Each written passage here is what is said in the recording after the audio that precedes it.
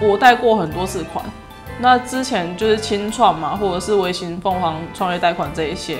那这一次是因为我们想要再整贷，看到诶什么叫有融资媒合会，然后我就想要去看看，于是就接触到这样的资源，然后就发现我们是做好简报，一次讲给很多很多银行听，而不是像以往我可能就是要跟某一间银行去申请，然后去打关系这样子。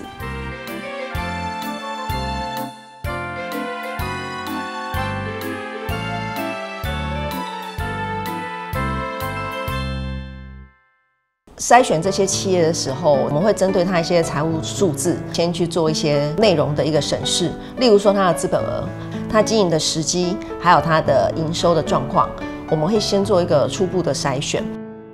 曼温它的过去有成功的经验，它对未来它要拓展的方向也很明确。那它的一个资本金自己投入的也有已经有相当程度，所以我们建议它是可以去参加美合会的。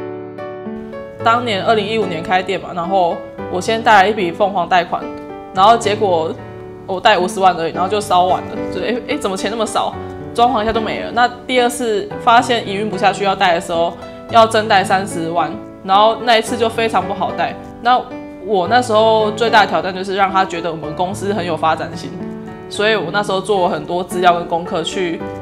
说服他说，我觉得我们公司是很有发展性的，是还蛮挑战的，因为我我当时其实是有点担心我们公司的营运。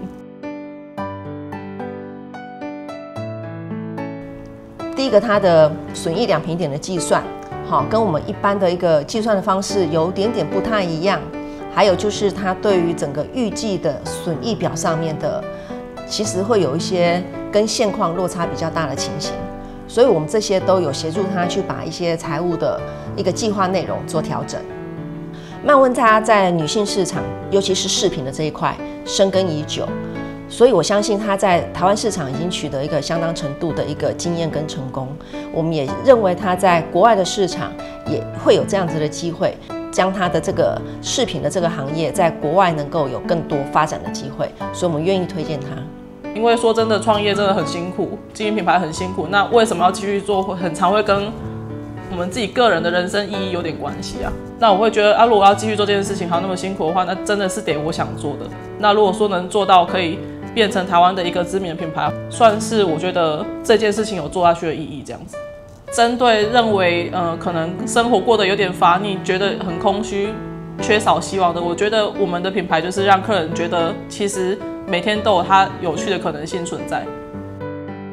融资美合会的时候，我们直接讲完我们要做哪些事情，所以所有银行都是有听到的。那他根据我们计划书的可行性跟真实性，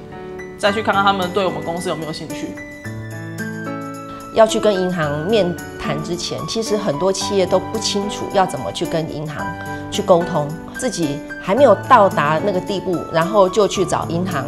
以至于被打回票的这种状况，我相信在经由这个我们辅导的过程，还有经济部中企署的这样子一个专案的推动的这个过程之下，那我们的任务也就是去协助他去更了解自己的财务状况，然后在银行这边的一个呃对接上面也可以更顺利。有会计师辅导这一块，就是我觉得很帮助也很大的是，他实际来看我们每一个就是开销跟预算跟预估清偿的能力正不正确。那有点像是一个导师在协助我把整个计划很很真实的可以完整，然后呈现给银行。透过这样的媒合，然后后面的对接就非常快速，也没有太多就是资料往来等等的。我觉得是一个很省时间，而且可以找到伯乐的机会。也建议想要来参加银行融资媒合会的企业朋友们，可以先审视一下自身的财务状况，根据自己过去经营的一个经验，审慎来评估未来可能的营收规模，循序渐进的来跟银行寻求资金上面的资源，然后来达到自己企业扩展的一个目标。有任何银行媒合会相关的问题，也欢迎来找经济部中企署的荣誉会计师沟通。